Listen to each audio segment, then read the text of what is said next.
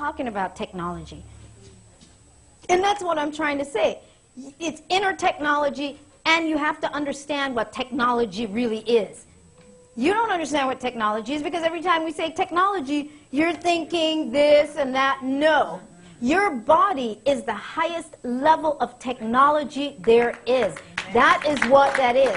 And I don't, I don't have my paper with the, with the breakdown of the word right now, and I, I can't remember. But anyway, I define it on my website. I've broken it down according to um, techno and, and, and the other aspects of the word in terms of what it really does mean. And technology is really about taking energy and forming it into whatever it is energy, whatever it is you're choosing to form it in, that's really what technology is. And your body is that.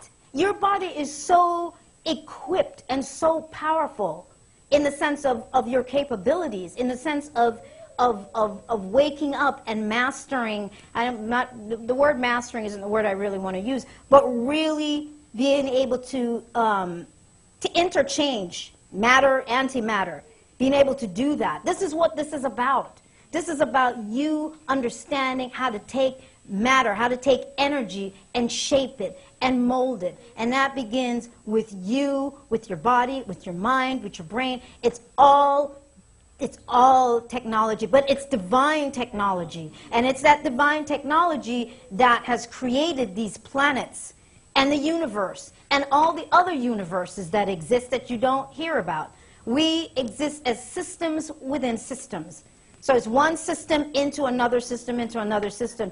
Many, many echoing, echoing. And what we are, what we are right now, we are the echo of future timelines. And when we talk about Sirius or these planets, these other um, yeah, planets being light years away, you know, we're, we're simply speaking of, of, of, of timelines, of, of, of other timelines, but we don't really see it that way timeline is based on, uh, when I say timelines, it's based on uh, uh, distance, um, uh, speed. You know, we're talking velocity because speed, the faster something spins, um, as I used the, the fan as an anal analogy, I think, the other day, when you have it on low speed, you can see it. And you medium, you can still see it. But as it escalates. As you put it up to high, and if you could turn it up even more, it disappears. It's not, it's not an impossibility to understand. It disappears. So that's why you don't see all the other things that are here in this space because they're, they're vibrating at a different, exactly at a higher rate of speed. Well, your body is supposed to be able to do that so you can go anywhere that you choose to. The only difference is when somebody said last week about uh, living forever, that's the misconception. Every time we think of that, we think we're here in this timeline. We think we're here, always in this body. No, you're not. You are evolving. You are ascending. You are ascending to different levels. That's what's going on. it's funny. you're you're ascending to different levels, and that's what needs to be understood. Now, we hear a lot of the New Age talk, they're talking about ascending and ascending, and I'm like, okay, but okay, where, where are you going? Where, what, where are you, where are you going? I don't hear anybody telling me anything. We're, ju- oh, we're just ascending. you know, but the thing is, there is ascension of the soul and then there's ascension of the physical body. And I think I talked about that a little bit last week. Sometimes I don't remember what I said. But um, there's, so there's, there's those two uh, ascensions which, you know, they become one. They, they really do become one. But the reason why you want your body to move into that, to go along with that, is because the ultimate the ultimate learning experience here as human beings in third density in this physical body is really to master matter, is to go, whoo, I got it. Whoo, I got it.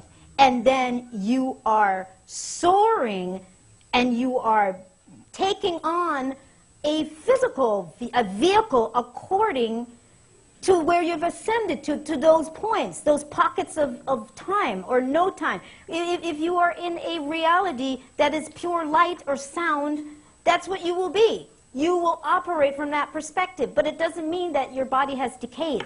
It does not mean that. It just simply means that the molecules of your body have shifted. They have, they have folded up. They are moving so fast but they move fast in, in terms of moving into the consciousness of that particular field of time that you're operating in.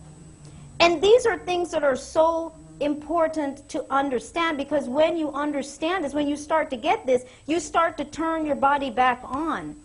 You start to, to reactivate your body. And so when, when they talk about um, the Merkaba and uh, sacred geometry and, and some of these things, and, and I hear a lot of rehearsed, practiced things. And, and, and it's not about that. It's not about just practicing a particular movement like that. You, you have to be fluid with it. You have to flow with the transition. So it's not just about practicing the step and flow. And if I, that's probably why I didn't do workshops, because it would have worn me out. I, I wouldn't I wouldn't have been able to deal with the systems like that. But what I have learned that it is about fluidity, and you don't have to worry about becoming. You don't have to worry about that when you get it. You don't have to go, um, like somebody asked me uh, on a radio show uh, some time ago, um, how do I charge up my melanin? And I understood the innocence with that. But you can't fragment yourself like that. It's the whole being. It's the whole being. Your consciousness is what's coming in and then reigniting your body, your cells. Your body will just go along with that higher vibrating consciousness and do what it needs to do, providing that you are aware that this is what's supposed to happen. But when you begin to fracture yourself like that, and like the doctor, you're going to fix this thing and then that thing and that thing. It doesn't work like that. This, this system works together. It works together. And the reason for the, um, I was going to say, the reason for the, the decaying process, and it just went out of, I mean, I have it here, but there's a specific thought I wanted to, to mention about that. Um, gosh, it just slipped my mind. But anyway, the, the reason for the decaying process is the shutting down or the, the, the limitation then of, the, um, of, of knowledge. When you learn what you learn and it becomes just memorized information, your pineal gland, um, the pituitary gland, they all begin, they're all reacting to that because their job is to feel life, is to feel fluid energy moving through. And when they don't feel that, when they feel memorized information, a library of information, and you're just picking up more information, but it's memorized, you're, you have to become the information. Right. You have to be the information. You, exactly. Because you are technically a your transmitter and your and your receiver. But technically what you are is information. That's really what you are. You are information from beginning to end, gathering data for creation. Uploading, downloading, you're like, okay, this is what I understand. Oh boy, it you know, broke my heart, don't like it. Upload.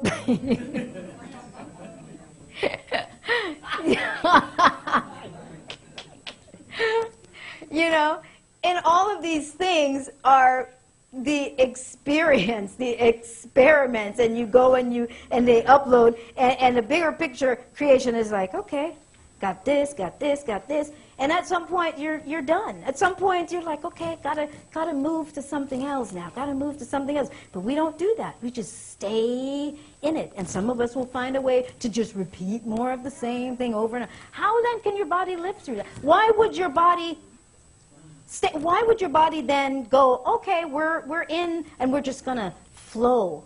We're just to flow with time. It can't Because it's your brain that's sending the message to all of your cells and your, your, the rest of your entire body. It's your brain that's doing that. And your brain is taking the information from where? From your thoughts, intent. And that's where the thoughts come from. From your intent, from your perception. And what does it do?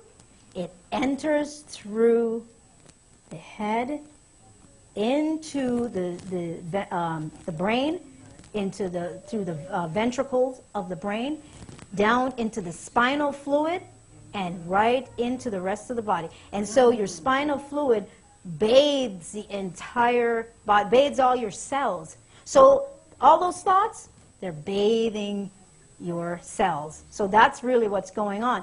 And your brain is deciding as to the length of time that the body is kept alive based on your understanding, and the brain says, well, it looks like we're done. That's really what happens. It, it, it says it looks like we're done here. There's really not much else coming in that's new, and you're not really connecting outside of this time. You are caught in the finite matrix. And the thing is, to move beyond that. You can interact with the finite matrix, but you not you don't become the finite matrix anymore. You're not that. You are an agent and you're operating here, there, wherever you want to operate. That's what it's about. Not just operating here, because this reality is for that particular experience to, to come in, to do what you do, to, to be controlled, to do this, to be that, da, da, da, da, da, all the stuff that you've gone through. And then if, this, if the system is lucky, you will go right back on that reincarnation wheel and you will come right back in here again. You will keep coming back. You just keep recycling here. And so you have memories and you have all of these feelings of, of things that you, um, people, you know, that you feel that you've met before, all, all of those experiences. But you just keep coming back in for that. So it's a matter of being able to, to, to really wake up to that understanding and understand more about time, the concept of time, how time is regulated. And for all the people that weren't here last week, um, I had mentioned that I was walking on the beach one day, and uh, the word time appeared before me, and, and I saw a hyphen in between, and it said T-I hyphen M-E, which means to tie me, to restrict me, it's, it's, it's restriction. But then when you reverse the word, it spells emit. Emit means to flow. Now, in physics, it is understood that cre you, creation or physicality exists as both a, a wave, waves like, like this, and a particle. So it's wave and particle. So that means it goes into wave form and then it becomes a particle. Well, that's time. That, that's time. That's what, how time is supposed to operate. You seize the moment, which is what this is. This is but a moment. It just seems like forever. We're really only living a moment. So you seize that and you freeze it. But we've frozen it and we're like, okay, we're, we're just going to stay right here. We've frozen this. This is good. We're comfortable with it. This is what we know. We've been doing this for a while. That's it. That's all there is. No, then, of, the, um, of, of knowledge. When you learn what you learn and it becomes just memorized information, your pineal gland, um, the pituitary gland, they all begin, they're all reacting to that because their job is to feel life, is to feel fluid energy moving through. And when they don't feel that, when they feel memorized information, a library of information, and you're just picking up more information, but it's memorized. You're, you have to become the information. Right. You have to be the information. You, exactly. Because you are technically a your transmitter and your and your receiver. But technically what you are is information. That's really what you are. You are information from beginning to end, gathering data for creation uploading, downloading. You're like, okay, this is what I understand. Oh boy, it, you know, broke my heart. Don't like it. Upload.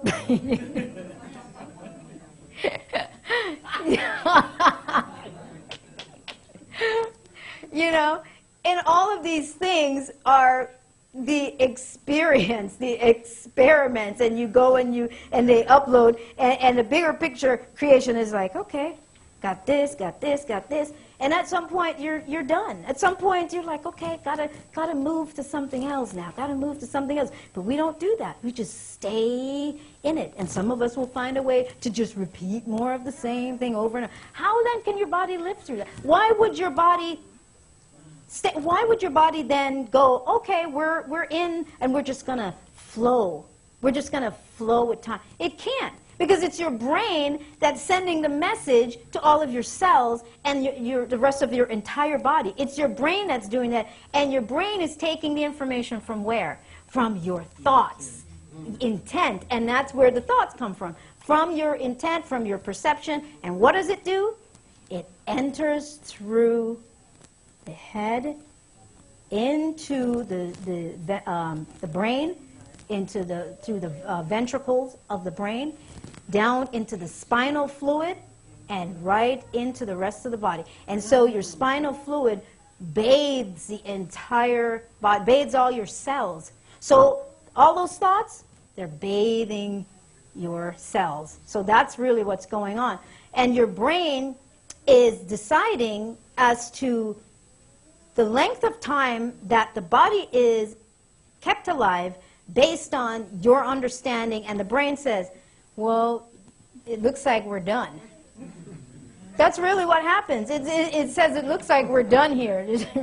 There's really not much else coming in that's new, and you're not really connecting outside of this time. You are caught in the finite matrix.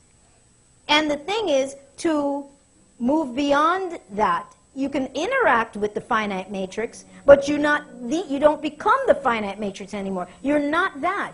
You are an agent and you're operating here, there, wherever you want to operate. That's what it's about. Not just operating here, because this reality is for that particular experience to, to come in, to do what you do, to, to be controlled, to do this, to be that, da, da, da, da, da, all the stuff that you've gone through. And then if, this, if the system is lucky, you will go right back on that reincarnation wheel and you will come right back in here again. You will keep coming back. You just keep recycling here. And so you have memories and you have all of these feelings of, of things that you, um, people, you know, that you feel that you've met before, all, all of those experiences. But you just keep coming back in for that.